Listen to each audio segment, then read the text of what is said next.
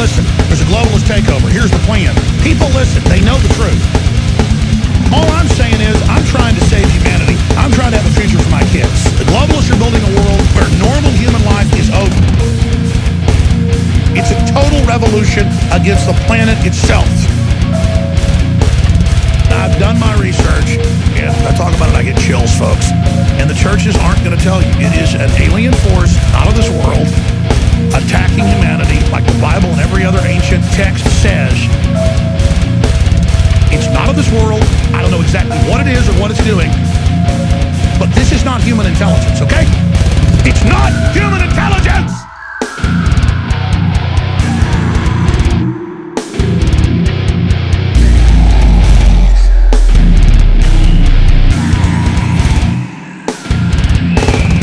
You're living in a science fiction movie on a planet in deep space